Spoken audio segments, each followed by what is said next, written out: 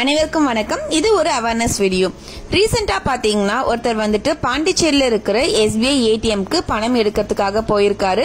So பணம் எடுத்துட்டு இருக்கும் போதே அந்த பின் நம்பர் டைப் பண்ற இடத்துக்கும் கொஞ்சம் மேல ஏதோ ஸ்டிக்கர் மாதிரி ஒட்டி இருக்கு என்னன்றது கிட்ட போய் டச் பண்ணி பாக்குறாரு.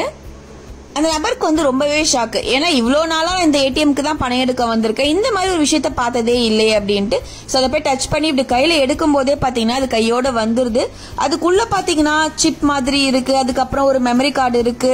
ஸோ அதனால கொஞ்சம் சந்தேகப்பட்டு பக்கத்தில் இருக்க போலீஸ் ஸ்டேஷன்ல போயிட்டு இதை எடுத்துட்டு போய் கேட்குறாரு அங்க இருக்கிறவங்க எல்லாருமே விசாரிச்சு இது என்னன்னு பார்த்தா இங்க யார் யாரெல்லாம் பணம் எடுக்க வராங்களோ அவங்களுடைய ATM number ATM pin number எல்லாம் ஸ்கேன் பண்ணி தீட்டுத்தனமாக பணம் எடுக்கிறதுக்கான முயற்சிகள் முயற்சிகளுக்காக தான் இந்த மாதிரியான ஒரு சிப்பை வந்து இந்த இடத்துல பிளேஸ் பண்ணிருக்காங்கன்றது கண்டுபிடிக்கிறாங்க.